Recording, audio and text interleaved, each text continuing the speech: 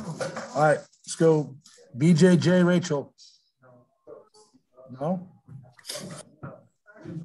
Recording in progress. Can you hear me, Are Steph? good? Yes, sir. I can. hear. What uh, what's the feeling like? Obviously, losing a third straight one at home. What, what's the feeling like for this one? Uh, I mean, obviously, it's not a good feeling. Everybody wants to win. Uh, we played a great team, and um, you know, we just got to come out and uh, prepare for the next one. Uh, it's football. Uh, things happen, and so you know, obviously, it's not a great feeling, but uh, you know, it's life. What what what kind of went wrong tonight? Uh, I mean, we go we're gonna go in and really uh, see tomorrow and watch film, or, or uh, Monday when we watch film. But uh, like I said, we had some self-inflicted wounds, but you know, uh, we just got to clean some stuff up uh, and get back rolling. How, how do you do that at this point? How, you know, three and four, and obviously the division. You know, you're looking at the division standings now to a couple teams. I mean, how, how do you try to turn this thing around and get it rolling again, like you said? I mean, like I said, football. You know, it's football. It's life. Like anything can happen. We have a bye week coming in, so you know, just work hard this bye week, and uh, you know, just keep playing, keep grinding. You know, we love the process, and you know, try to just stay focused on the process of getting better. And final one for me. I mean, when Air Force is holding the ball for so long, like they are, and you don't get as many possessions, I mean, how important is it to take advantage of your possessions and score on offense? And a couple of those drives where you guys had to punt, I mean, it, you start playing from behind. How hard is it to come back against a team like that? I mean, yeah, we knew that coming in that they would hold the ball. Um, just how their offense is ran, how it's been ran. So we knew it was important to uh, try to make the most of our opportunities. And like I said, we had some self-inflicted wounds that you know we're just gonna go back and fix. Uh, and of course, of you know this week and, and our bye week as well. And but yeah, it, it is important to uh, to make the most of those opportunities, especially with a team like that. You know that holds the ball and runs the timeout. And we kind of knew that, so you know just some stuff to clean up, like I said. Thank you. Steph, I know you're still kind of reflecting. I mean, the, the game just ended, but it, seems at times this year the offense looks good and then it just goes dry for a little while. What what is there any like a common thread there that uh, seems to hold you guys up at times? Um, it's just the small things. Um, you know, uh, we just had a few like you know holding penalties or something. You know, just stuff like that that we just got to clean up. And uh, like I said, you just like you said, you know, the game just ended, so it's not much I really know off the top of my head. But when we watch the film, you know, we see just some things that you know to fix that we could fix, and you know, make better for us to be a better team and be more productive, uh, more consistently. This this feeling is going to sit with you guys for a little bit as you go into the bye. How, how do you guys approach the bye? You said you're going to be watching film on Monday. I mean, couple days away, or how do you approach the bye? I mean, you know, it's football. We've been playing football, or I've been playing football my whole life. Uh, you know, like people say, you know, the sun's gonna come up tomorrow. Um, it's it, it is gonna hurt. You know, nobody likes uh, losing, but you know, we kind of just move on. We we grind and we focus on the process. You know, of getting better and uh, trying to keep going with the season. What was going through your mind when Riley gets that onside kick? I mean, I I was uh uh excited and you know happy. You know, just ready to get another uh opportunity going. You know, make a play, try to tie the thing up. Steph, appreciate it, man. Yes, sir. For those of us, uh, you know, that are outside the program, we don't always know, um, you know, who's going to be injured before the game. So, did you know that you know you ha- were going to have seven players out going into this game, and were you able to prepare for it all week, or was it kind of you were hoping maybe you'd get like Cyrus or George back? Uh, you know, football is a physical sport, so we just always make sure we have people ready. Um, and you know, I have trust in everybody that's on this team. So when somebody goes down, you know, uh, we want them to come back uh, as fast as possible. But you know, always ready to. Uh, I always had a faith and a trust in the next person coming up. You know, how much do you think the shuffling on the offensive line and the injuries have affected, you know, kind of the consistency of the offense this season? Obviously, we saw towards the end there that Will Farrar went down and Dante Harrington had to come back in at center. So, how much is that shuffling kind of affecting the the consistency of the offense?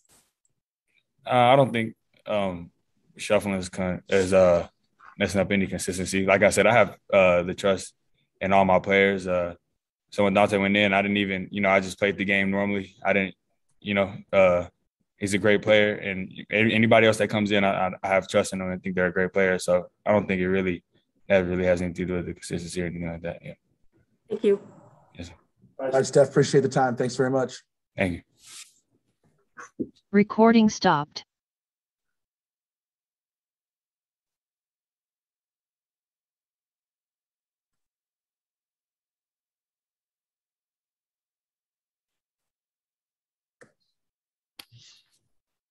You got us, Andy? Yep, you got me. Recording in progress. All right, let's go. Ron, BJ, Jay. Okay, Rachel. Rachel. Ooh, I got to start out first tonight. Uh, uh, last question I asked Steph was, uh, you know, how much was the shuffling of the offensive line uh, affecting the consistency of this offense? Obviously, we saw Will Farrar go down at the end there at center, and Dante had to jump in. Um, just seems like that, you know, those guys are having to shuffle around a lot, and, and maybe it's it's affecting the team, but I don't know.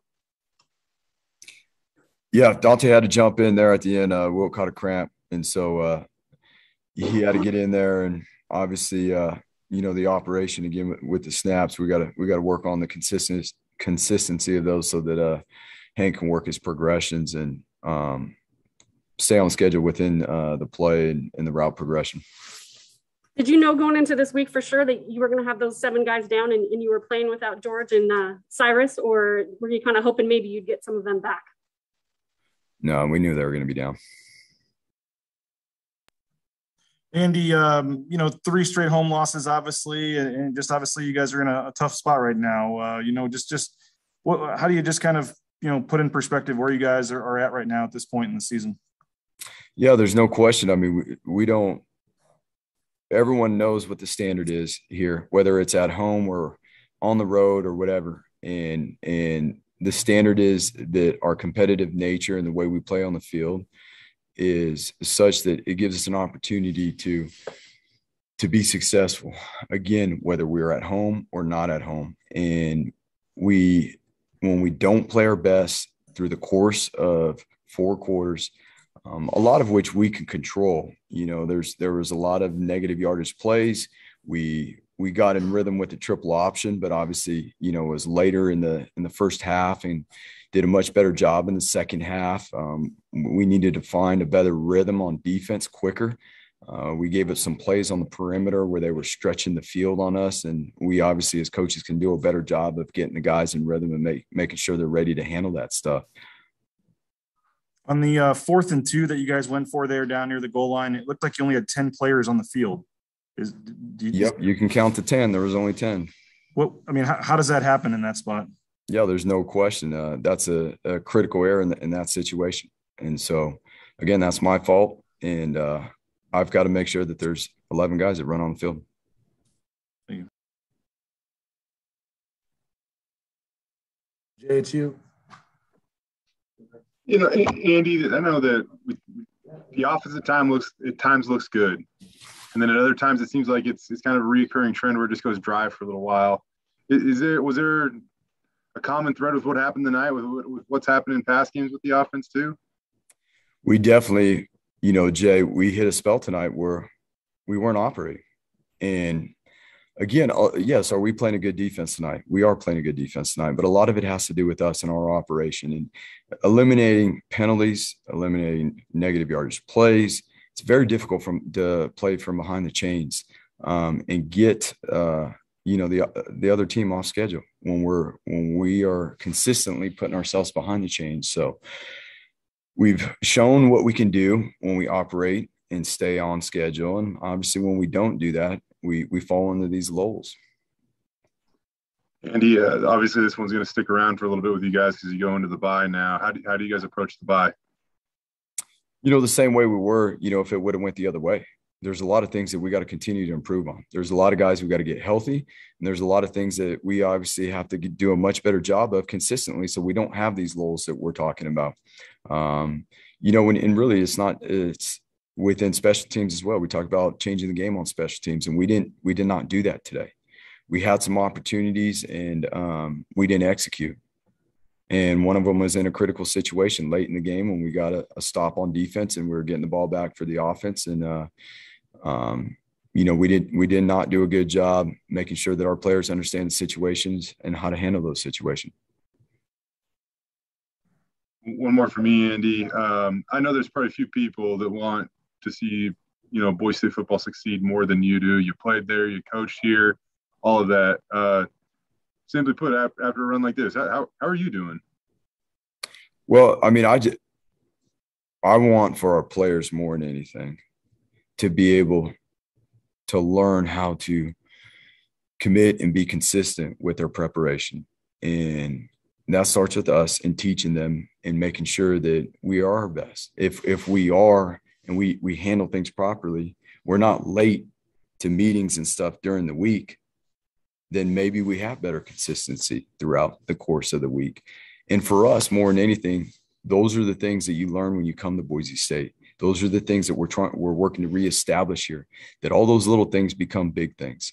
And and for me, more than anything, um, I know in due time we reestablish this foundation and we get back to doing things more consistently. Then um, you know the outcomes that that we want will come. Did you have some players that relate to meetings? We're moving on, Jay. Okay. All right, John, to wrap it up. Uh, Andy, uh, it looked like a last week, you know, a lot of the running game issues had been solved, but, uh, you know, this week it just, a lot of the issues came back. Uh, you know, all four of your losses, you guys have had under 100 yards rushing. You know, what do you guys have to do to kind of make that more consistent? Yeah, there's there's no doubt. Um, number one, we got we got to commit to it and uh, let the guys uh, go get it up front. Um, they've they've done a better job in the past couple weeks.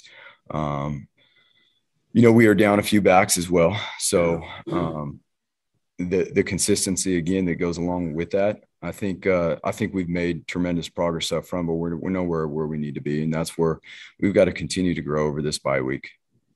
You know, you say you know next man up, and I know you've I've heard use that term quite a bit, but when you're losing your top two running backs, how much does that hurt? Yeah, I mean those. You know, Andrew Van Buren's done a really good job for us. You know, um, he's been a situational back for us. Um, and, and the not having George and Cyrus, you know, is a big deal. Andrew, Andrew again has done a tremendous job for us.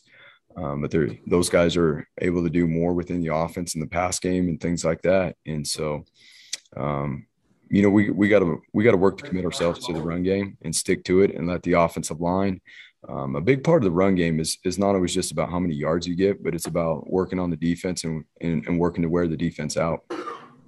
Where do you guys think you are in terms of that and just working the defense? Yeah, we got uh, that's what we're we got a bye week coming here, and we've got to continue to grow in that area. All right, we're sounds good. Thanks a lot, Andy. We're not where we want to be. Thanks a lot, Andy. Thank right. you. Thanks for the time, Coach. Appreciate it. Recording stopped. Thanks, Andy.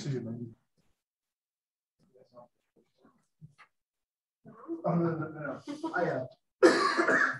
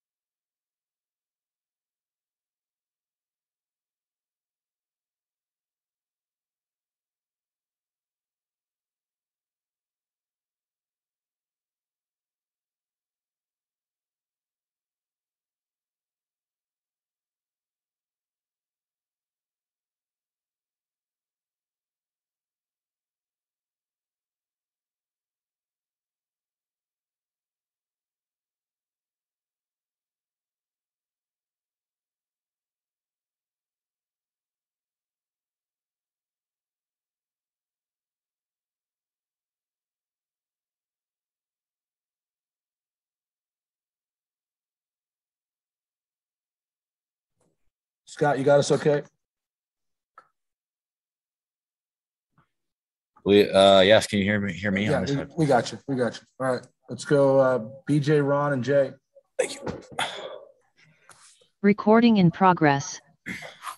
Scott, uh, obviously not a good feeling, I'm sure. What were kind of the emotions after losing this one?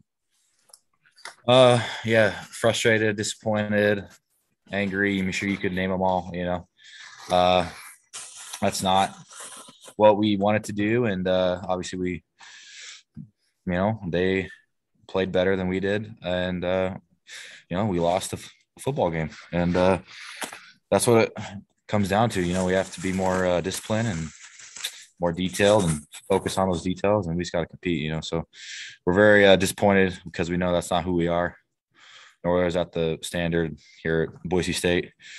And uh, but we will continue to strive to get better every day and um, uphold that standard with a relentless drive, and we will not uh, we will not uh, let up.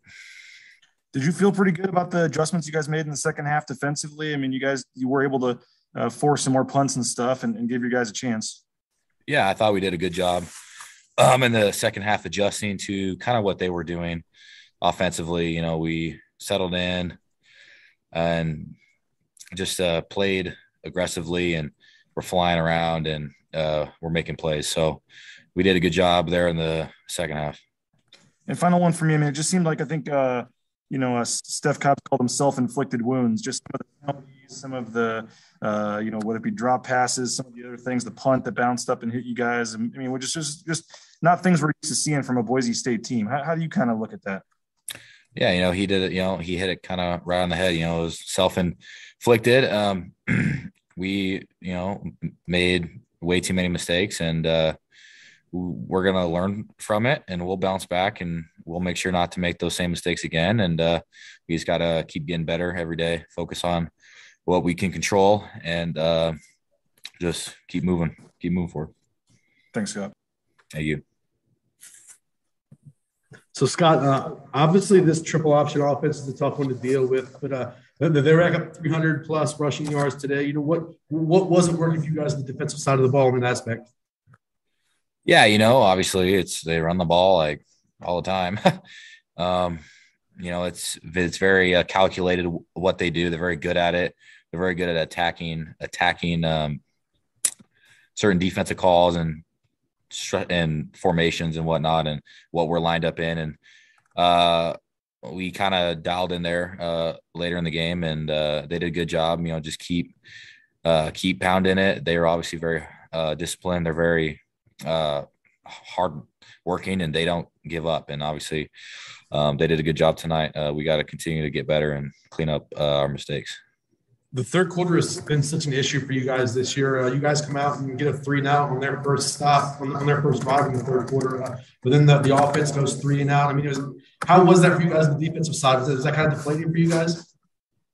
Um, I mean, this is a team game. You know, we got to play to play together. You know, we did a good job hold, holding them, and uh, their defense did a good job holding us. You know, so, you know, so it, it goes both ways. Sometimes we just got to continue to uh, do our job and get them into you know and get them off the field and continue to get our offense the ball because um, our offense will put up points. Um, they will go down the field and score. I believe that we all believe in it, and uh, so we just got to keep keep doing our job.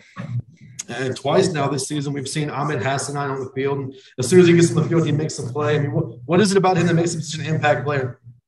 Yeah, I know he's done a good job stepping up with injuries and you know, learning the plays, um, learning the techniques and all that. Uh, just he just gives great effort. He has a an unbelievable motor. Um, always goes hard.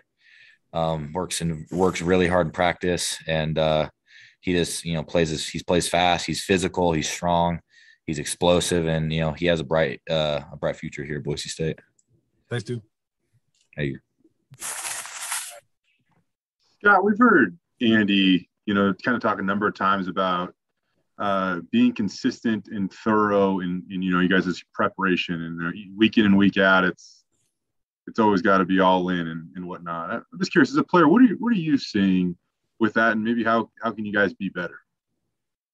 Yeah, you know, we gotta, you know, how we prepare, you know, throughout the week is crucial, and that goes for anything in life. You know, obviously, you know, we're all students as well. If we don't prepare for a test, I mean, well, you probably won't do well on the test, right? So we just got to continue to do a good job preparing, be diligent, uh, focus on the little details, doing what we need to do when when we get here, um, having an urgency about us, being focused, having that discipline, and taking and handling our business off the field as well. You know, there there's so many uh, factors and and whatnot that play into it, but we we have we have done a good job preparing throughout weeks, and we've done a not so good job preparing throughout some weeks. So we've been on both sides of the fence of that today or this season, excuse me. And uh, so we just got to keep doing a better job of focusing on our mission, being diligent um, throughout the week, and making sure that we're as prepared as we can be. As a guy, as a guy that seems to do it pretty right most of the time yourself, how do you how do you approach the buy? You know, this is a good opportunity for us to take a step back and look at what, what we need to correct, what we need to adjust, and uh, you know, really just focus on ourselves and fix those little things, create a good mentality on the team and a right mindset of what we need to accomplish throughout the rest of the season as we kind of reach the halfway mark. Uh, so this is a good opportunity for us to uh, take that next step. Scott, how do you guys not let the uh, the burden of the expectations constantly on this program, you know, get in the way of, of salvaging the second half of the season? Because obviously four losses. I mean, that just doesn't happen here. So how, how do you how do you get through that? Yeah, you know, it's um, you know, it's tough. You know, uh, obviously that is not the standard at Boise State. It never has been. Obviously, we've been playing. We play great teams, uh, very good discipline, and um, we've been in some tight games, and we've had plenty of opportunities to win these games. You know, so you can look at it both ways. Of you know, we have you know we only lost by this amount, this amount, whatever, or you know, but we can also look at it as we made this mistake here, that mistake there. So, you know, it all comes down to how we play, and I and that's really true. You know, how we play determines you know our success, and we're very there's so much potential on this team. We've seen it obviously, and uh, we just got to continue to you know trust the process, um, preparing with that purpose. You know, having just being a disciplined team, you know a tough team and also you know respecting you know the traditions here at Boise State and and upholding that standard that was uh paved paved before us. Scott, thank you, man. Thank you. Scott, thanks very much. Appreciate the time. Thank you. Thanks, Recording Scott. stopped. My good. Yeah.